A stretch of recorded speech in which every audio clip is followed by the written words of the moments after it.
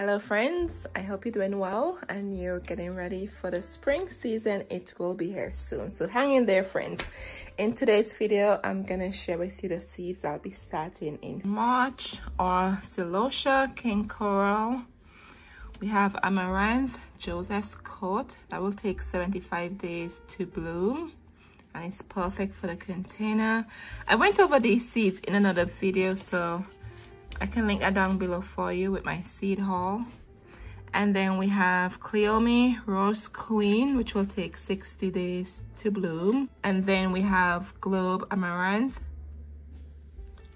And we have Celosia. This is the Crested Mixed Colors.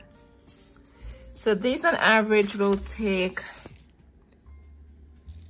10 to 14 days or 7 to 14 weeks. So these have two weeks window.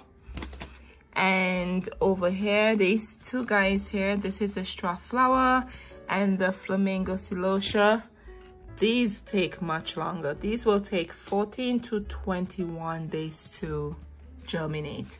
So these two will be planted in their own container and the rest of these I'll be planted in one tray because they take around the same time to germinate. So that way I don't have to worry about which side did not germinate and which side germinate. And this side need more light this side doesn't need more light and all of that. So that's why I'm doing them in their own sets of trays all right so now it's March so these gonna take an average of I think like four to six weeks or so or six to eight. Let me see what this one says. Yep four to six weeks. Yep four to six weeks these will take. Just want to make sure i have nice seedlings ready to put out in the garden once my frost date has passed. I'm in zone 6b technically but the new usda zone put me in zone 7a but nevertheless i'm still using zone 6b so my frosts would probably end sometime in april. If i use 7a if i use 6b it would end like may 15th but i should have nice big seedlings to out in the garden so that way i could have beautiful blooms for my garden. So these are the seeds we'll start in in march. Side. So first as you may know you need your cell tray. I got this from walmart. I think it was like five dollars and change and I'm using my Jiffy and organic seed starting mix. And I just use an old container I have here with a spatula half broken spatula. And I have my hot water already boiled. The reason for the hot water is to kill any fungus or bacteria in the soil it will help to kill it. Because you know when you start your seeds you always see those gnats coming around those tiny flies. So the hot water will kill any germs so to speak in the soil. Very important when you start your seeds from inside you must use seed starting mix not potting soil. I know potting soil is cheaper garden soil is cheaper but you have to use a seed starting mix it will help the seeds to germinate and give you those beautiful blooms okay? And this is the jiffy brand i'm using here. All right friends so let's get the mix ready. I already started some here but it's pretty easy. This is what the consistency should look like like you're making brownie that's what they say. But make sure you have your water. I just boil this in the microwave in this glass cup and be careful it's very very hot. So anyway so let's get these seeds started. And let me go over the reason why i chose these seeds.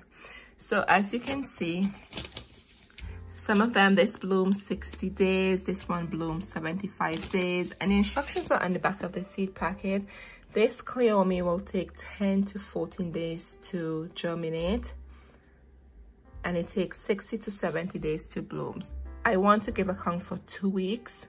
So these will germinate, I would say around almost mid-March. And then it takes 60 to 70 days to bloom. So in order for you to be ahead or on your game, so to speak, you have to make sure, look at your hardy zone and when your frost will end. I'm in zone 6B and the USDA, United States of Department of Agriculture, our zones recently changed and technically I'm now in zone 7A but my natural zone is 6B so if you want to know when is your hardy zone you simply put your zip code in Google and it tells you what zone you belong to. And that's how you know when you should start your seeds or when you should plant your seedlings outside or even what plants you should get at the garden center and if they will come back for you based upon your hardy zones. So I'm starting my seeds now so that way I have a jump start and I will have beautiful blooms outside in the garden right? Last year I was behind but this year guess what it's only gonna get better and i have my labels already. So as you do your seeds make sure you prep first because it's easy to mix up all these seeds right? Prep first and most of these seeds here they're gonna take average of two weeks to germinate.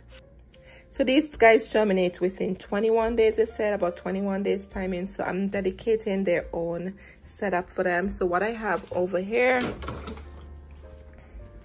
i have a tray here for them and I'm using a salad spinach dome to help with the condensation to act as a greenhouse. So get creative, look around your house. You don't have to go out and buy stuff. Look around your house and get creative. So the straw flower and the flamingo celosia, they should be germinating around the same time. So then I don't have to worry about, okay, some not ready, some ready. So that's why I have them in their own setup here and it's important you have your stuff covered. So if you have empties like just this alone like the tray alone you can simply get some plastic wrap and cover it okay? But very important you rest this on a tray or a plate. The water is gonna leak out at the holes and you don't want to make a mess in your house. Well i don't want to make a mess in my house. But make sure if you don't have something like this to reuse make sure you have put it on a plate and then get some plastic wrap and cover it to help with condensation. So that's another way to do it. You don't have to go out and spend money to make this work. Get creative think out of the box. Anyway friends so i just wanted to share that with you. Um, let's get these out of the pack so i don't mix them up. These guys stay over here and we're gonna have these taken care of and then let's get these seeds in here. All right friends when you're doing this take your time. It takes a while especially if you have to try to make sure the soil is in these cells properly. So what i did i went through all of them. I took this spoon and just pressed on it make sure the there's make sure there's no bubbles in there. And i can't show you but what i did i held both ends and i did this just to make sure the soil goes down. And then when I saw like like a loose area I just added more soil. So take your time make sure you do it properly okay? So I'm happy with this now. So we're gonna take our time and we're gonna sow the seeds. And remember with the seeds sow according to the seed packet. So this one says a quarter to half inch.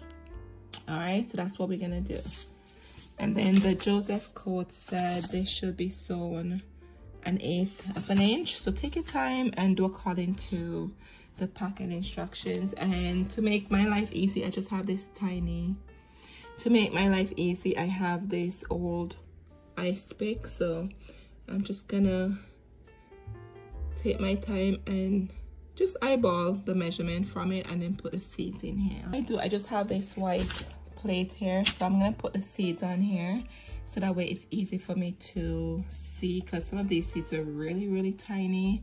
And then take my time and put them here.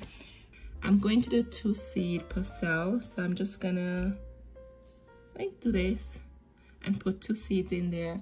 I know sometimes i feel like i waste the seeds when i put a ton of them on here but i'm just gonna take my time and do two. Hopefully they germinate. And remember i have a lot. This is like 72 tray cells right? That's a lot of plants.